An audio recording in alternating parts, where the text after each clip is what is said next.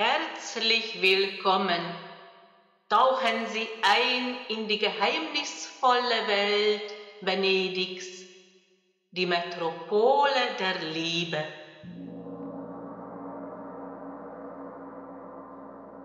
Was ist los mit ihm? Eine Klärung. Dieses Legesystem wurde von mir entwickelt und bei dieser Legung beantworte ich die Frage, was ist los mit ihm. Das ist eine allgemeine Legung für 16. September 2018, weil das ist ein wichtiger Tag. Das ist die männliche Energie, was sehr dominiert und wirkt. Natürlich, wir Frauen haben auch männliche Energie. Wir brauchen diese Kraft und Mut, uns durchsetzen im Leben oder etwas in Bewegung zu setzen. Aber in erster Linie geht es jetzt um die Männer. Mars bewegt sich in die Nähe von der Sonne. Es kommt nicht so häufig vor, aber jetzt gerade diese Annäherung. Und die Sonnenkraft wirkt auch, kommt mehr Klarheit kommt die Wahrheit ins Licht, kommt auch Wärme, Herzenswärme und Mars bewegt sich schneller als sonst. Und das ist die Bewegung. Das heißt, am 16.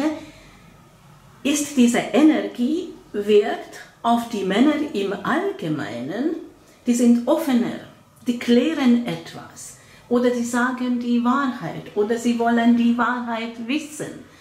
Kommt auch Herzenswärme, sie öffnen sich und kommt schneller alles in Bewegung. Und weil so ist es astrologisch, habe ich gedacht, dann mache ich eine Legung dazu und ich erkläre das noch astrologisch. Nach indischen Berechnung, und ich bevorzuge das, weil die Berechnung ist präziser als in unserer westlichen Astrologie, weil die indischen Astrologen genauso wie die Astronomen auch berücksichtigen, dass das Sonnensystem auch Bewegung hat, auch wenn das minimal ist, aber in Hunderte und Tausenden Jahren macht das auch was aus. Also die Berechnung ist viel präziser. Nach dieser Berechnung bewegt sich Mars in Tierkreis zeichnen Steinbock und geht rasch an die Ketu vorbei. Ketu symbolisiert die alte Karma. Und das ist auch spürbar, weil Ketu wirkt auch. Also nicht wundern, wenn hier karmischen Begegnungen kommen oder Erinnerungen von früheren Leben, das aktiviert diese rasche Marsbewegung.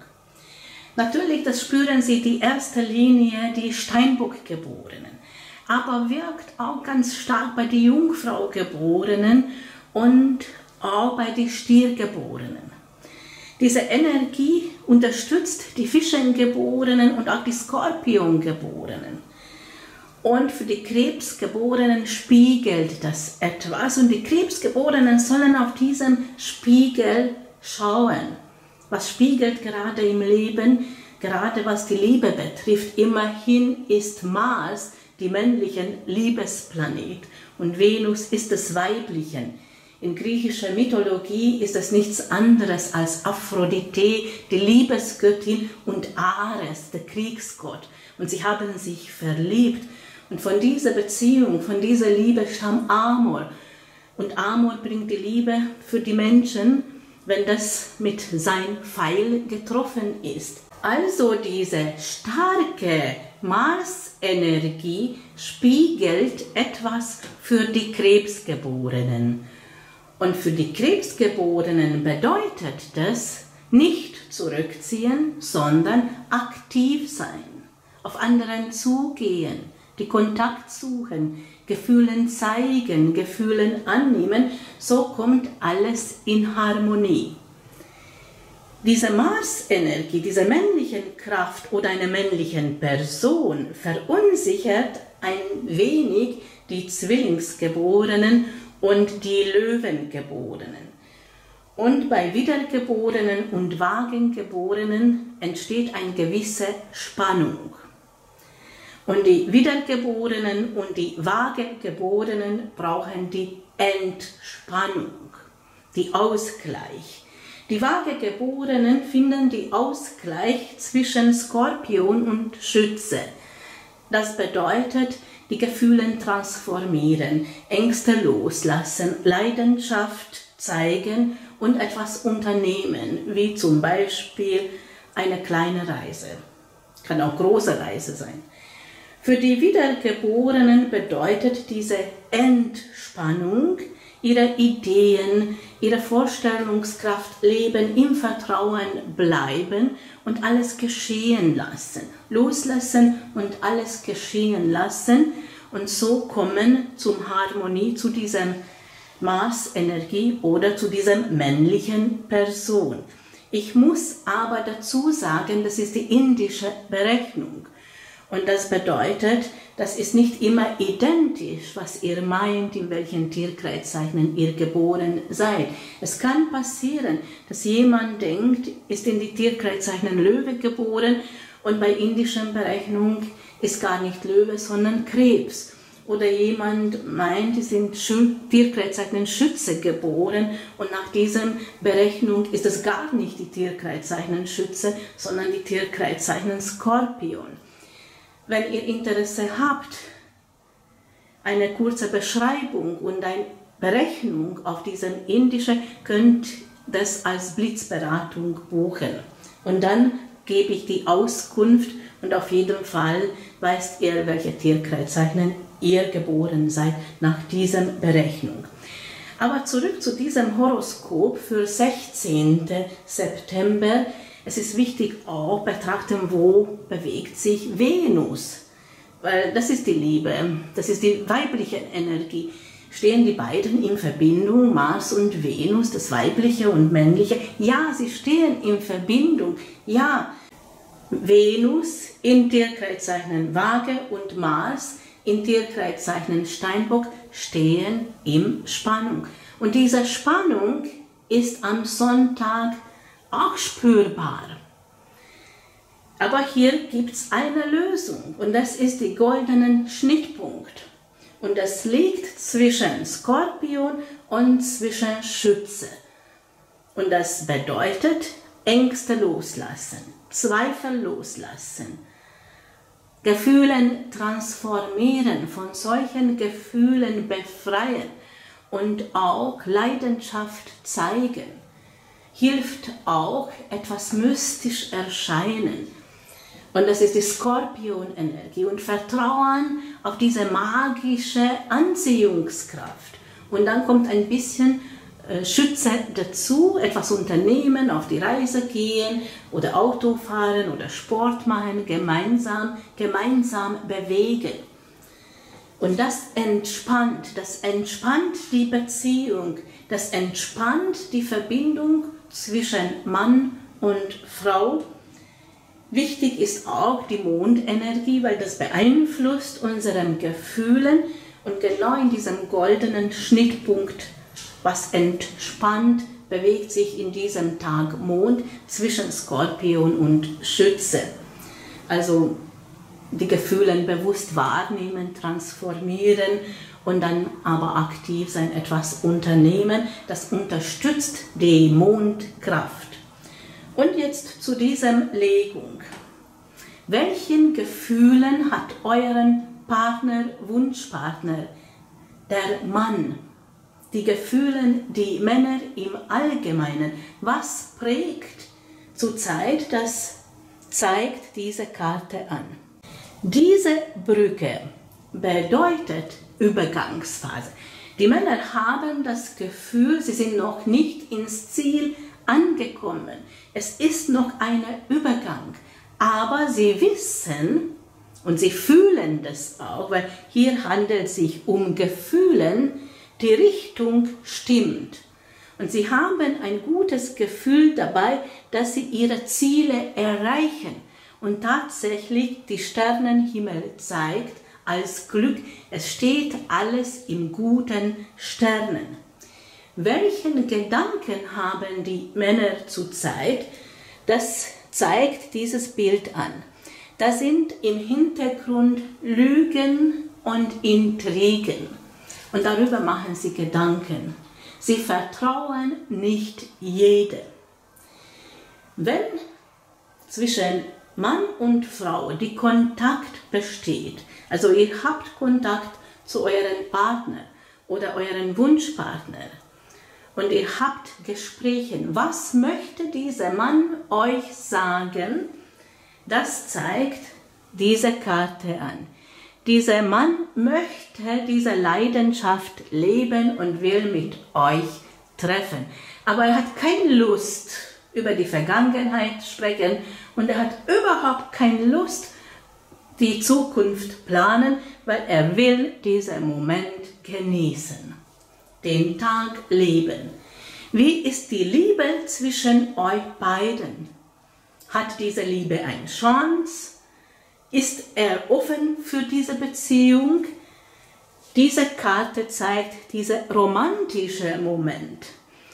Dieser Bild kann sogar die Verlobung sein und die Zahl 7 die Chancen. Dieser Mann gibt eine Chance für diese Liebe und er möchte die Leidenschaft und diese Romantik genießen. Hat er Glück oder woran liegt sein Glück? Das zeigt diese Karte an. Er hat was vor. Entweder ein Neubeginn in dieser Liebe, kann aber anderen Themen handeln, ein Neubeginn beruflich. Also er macht Schritte in eine Richtung. Er ist aktiv, aber sehr vorsichtig. Warum ist er so vorsichtig? Weil ihm ist es bewusst, dass es so viel verlogen wird und gibt es auch im Hintergrund Intrigen. Und das ist klug und daran liegt sein Glück, dass er vorsichtig ist oder dass er etwas noch überprüft.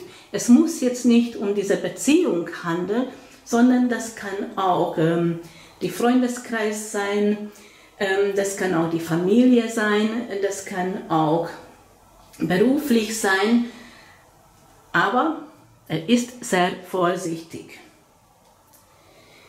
Was möchte er im Tat umsetzen in die nächste Zeit? Die Kelchen symbolisieren seinen Gefühlen, auch euren Gefühlen. Hm, da ist auch nicht nur der Mann, sondern auch diese Dame.